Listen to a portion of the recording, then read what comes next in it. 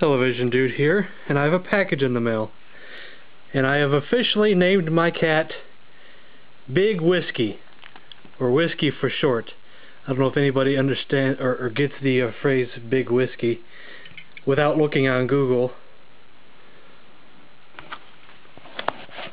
But that's what I'm calling him, Big Whiskey.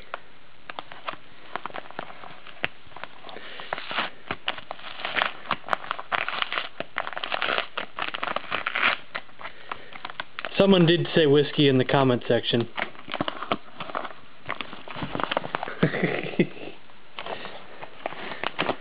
okay, let's see here. What do we got here?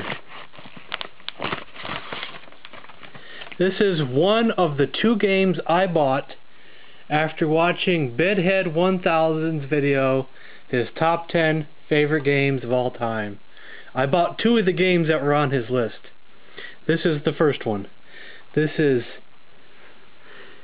Todd's Adventures in Slime World for the Sega Genesis. Uh, Genesis.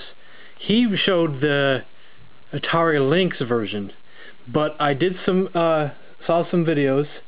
I think one video was from Pocket Migo. Then there was a comparison video comparing the two, and it was pretty much just graphical differences.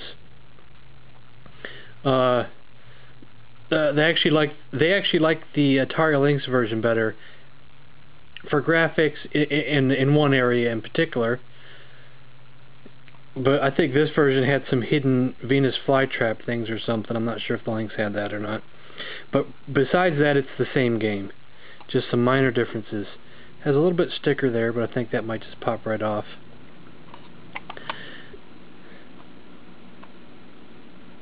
A game company on eBay of all places putting a sticker. At least it comes off pretty easy here.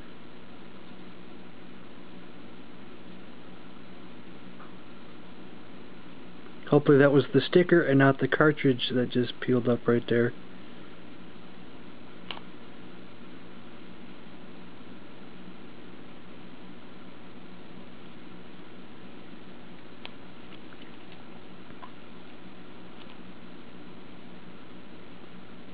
No, I think that was part of the cartridge. It stuck to the end of the cartridge. Cause that's not sticker, because that would be coming up. Dumbasses. Well, that's just a little spot, though. I, I, I bought it to play the game. But still, bunch of dumbasses. You don't put stickers on the labels. In this day and age. I mean, you're, you're, you're not a video game rental store or something. Come on. People are just so stupid. Well, anyway, I can't wait to play it, and hopefully I'll get the other game here in a day, in a few days. Hopefully. And that's the end of this video, so thanks for watching.